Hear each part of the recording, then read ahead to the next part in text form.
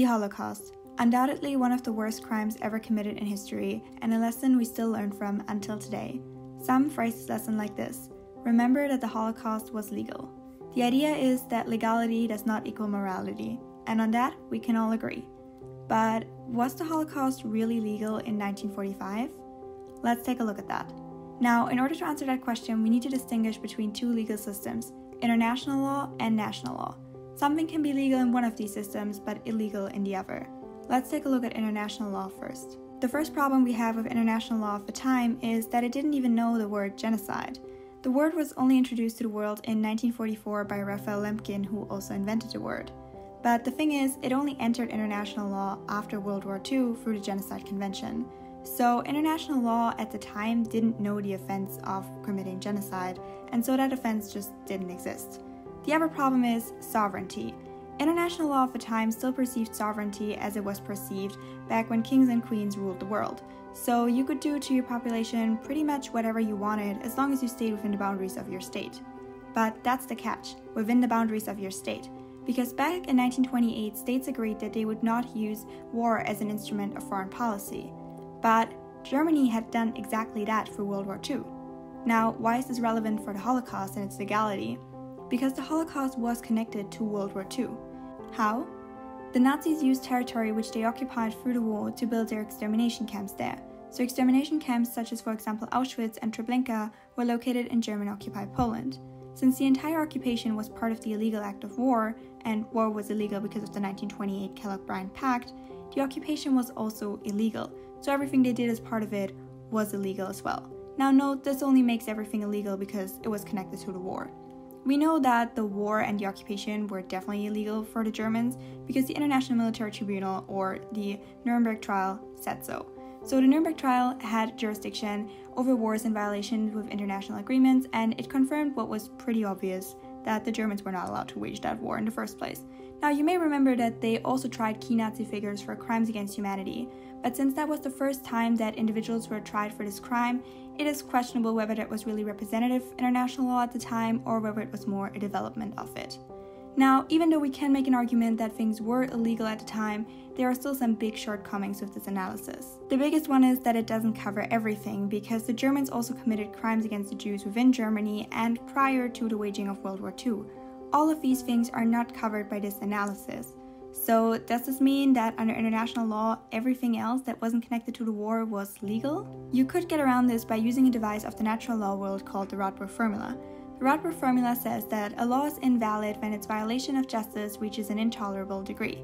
Since the rules of international law of the time would have permitted a genocide to occur as long as it occurred within the boundaries of the state committing it, that would definitely have been an intolerable violation of justice. But note that this is a merger of law and morality, which is controversial at best in the jurisprudential world, so we can't rely on that alone. So, the problem with this analysis is that some acts would have remained legal under international law. Now, let's take a look at national law and where things look differently there. There are two ways you could argue that the Holocaust was illegal under national law. One is that the entire regime was illegal and that the Nazis didn't have a legal system because every law they purported to make was just so immoral. Or you could argue that they did have valid laws, but the Holocaust was illegal under those laws. Let's first take a look at the argument that Nazi law was so immoral that it couldn't possibly be law. This is once again a natural law argument that isn't without controversy, and it assumes, such as Fuller says it, that a legal system needs a legal morality in order to be a legal system. What he means by that is that the legal system's rules need to strive towards justice and decency, and Nazi laws clearly didn't do that. So you could argue that the Nazis didn't have a legal system which could then legalize the Holocaust, so everything was illegal. But once again, this is controversial. So, what if we accept that they did have valid laws? Well, then we need to look at the German defense that is called the Befehlsnotstand. The defense can be raised when a crime is committed under the order of a superior. The defense goes something like this I knew that the order I got was illegal, but I followed it anyway because I feared severe punishment if I didn't. The people working in extermination camps were following orders. Now, we're discussing orders and not laws here because the final solution was an order made by Hitler after the Wannsee Conference. Heinrich Himmler, the leader of the Schutzstaffel, which is the unit which staffed the extermination camps, then told his people that this order basically had the force of law because it came from Hitler himself. But technically, we're talking about an order, so that's why we need to look at whether or not the following of the order was legal. For the defense to be successful, you need to satisfy both elements of it the known illegality of the order and the fear of severe punishment. Let's take a look at these in turn. First, the known illegality of the order your superior gave to you. Well, it doesn't take a law degree to figure out that murdering people is illegal. So, yeah, they would have known that. So, secondly, fear of severe harm. Well, the defense was successful in early Nazi trials because we assumed that this fear existed, but research has actually shown that the punishments were quite lenient and you could easily transfer to a different position. So the biggest fear was social ostracism within the units themselves, and that is not enough to then satisfy the defense. You could nonetheless have held a subjective fear which can be enough to satisfy the defense, but those will likely be rare individual cases. While you can thereby argue that the acts that were committed in the extermination camps were illegal, it is important to remember no court in Nazi Germany would have interpreted the law like this because they applied the law however the regime wanted them to apply it. Now that we've looked at both national and international law at the time, let's take a look at a few issues the law used to have and how we've addressed them.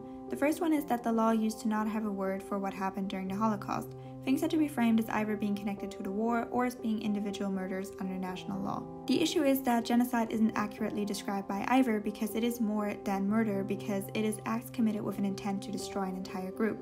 So that's why we needed a new offense which was introduced through the Genocide Convention. The second issue with the old law is that the world is no longer ruled by kings and queens and castles with absolute authority. Instead, there are limits on what states can do within their boundaries, and modern international law reflects that. So, to take it back to the tweet which originally inspired this little legal investigation of mine, no, the Holocaust was probably not entirely legal under the law of the time back in 1945.